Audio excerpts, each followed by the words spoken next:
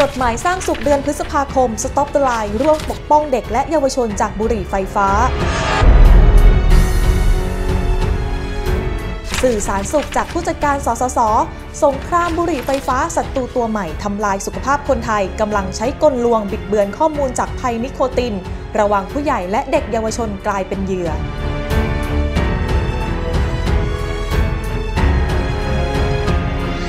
ถ้าเราบอกแบบนี้คุณจะเชื่อไหม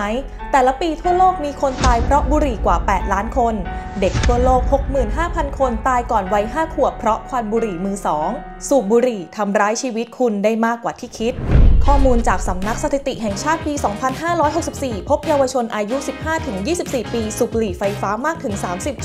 30.5%ตัวเลขนี้อาจเพิ่มขึ้น เพราะคำหลอกลวงของอุตสาหกรรมบุหรี่ ลองอ่านสักนิดแล้วจะรู้ว่าภัยบุหรี่ไฟฟ้าคืออะไร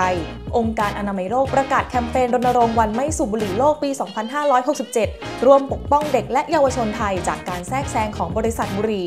1. ขอเรียกร้องให้บริษัทบุหรี่หยุดพุ่งเป้าไปที่เยาวชน 2. เรียกร้องให้รัฐบาลมีนโยบายปกป้องเยาวชน จากเล่เหลี่ยมคำหลอกลวงโดยบริษัทบุรี 3. เปิดโปงการแทรกแซงนโยบายสุขภาพ ซื้ออิทธิพลด้วยเงินสกปรกสร้างเรื่องราววาทกรรมเท็จ หาประโยชน์จากช่องว่างทางกฎหมาย และให้ทุนสนับสนุนกลยุทธ์บ่อนทำลายการควบคุมยาสูบ ชวนชาว Thai Health ดูนิทรรศการออนไลน์บุหรี่ไฟฟ้าฟินจนตาย ความจริงที่บุหรี่ไฟฟ้าไม่เคยบอกคุณสแกนเลย สุขไร้ควันพบวิจัยชิ้นใหม่จากสหรัฐอเมริกาตอกย้ำสูบบุหรี่ไฟฟ้าเสี่ยงหัวใจล้มเหลวกว่าคนที่ไม่สูบ ถ้าเชื่อว่าปลอดภัยลองคิดดูใหม่ได้นะ สุขเลิกเล้ามณรัฐ阿拉สกาเป็นรัฐแห่งแรกในสหรัฐอเมริกาที่จะเพิ่มคำเตือนบนผลิตภัณฑ์น้ำเมาเกี่ยวกับโรคมะเร็ง